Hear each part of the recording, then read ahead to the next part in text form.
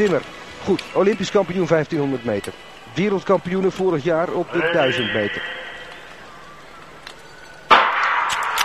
Timmer niet helemaal stilstaand, maar ze mag weg. Schenk is een snelle opener, zoals dat heet. Zij kan snel de eerste keer onderweg en heeft het nadeel van de buitenbocht. Timmer, voordeel van de binnenbocht. Het verschil nog niet groter zijn dan 2 tienden op de 200 meter.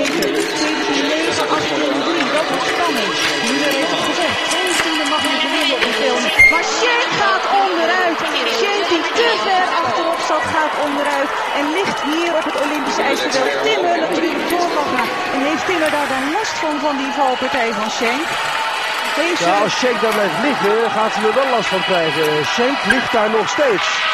In de baan waar Timmer straks voorbij komt. In de buitenbaan ligt Schenk namelijk voor Pampus. 46-3 voor Timmer is 400ste, 500ste sneller dan. En daar ligt Schenk 27 nog. Daar ligt Schenk nog. Daar gaat ze net langs. De camera ziet Schenk daar niet liggen, maar die lag daar nog. Timmer zag het wel en ging er net langs. En dan moet Timmer die concentratie nu houden in die laatste binnenbocht. Ze weet dat Schenk onderuit gegaan is. Dat is geen concurrentie meer voor de Witty nog wel in de volgende rit. En natuurlijk Lemay die de snelste tijd tot nu toe heeft.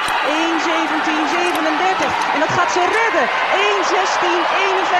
voor Marianne Timmer. 1.16.51. Een nieuw persoonlijk record. Een nieuw baanrecord. Een nieuw Olympisch record. En natuurlijk de snelste tijd tot nu toe. Lemay geklopt door Timmer. Maar deze juffrouw moet nog. 1.16.51 betekent goud voor Marianne Timmer als Witty daar niet aankomt. 1.16.51 redt ze niet en Marianne Timmer heeft voor de tweede keer een gouden medaille. Eerst op die 1500 meter en nu op de 1000 meter. De dubbel is voor Marianne Timmer.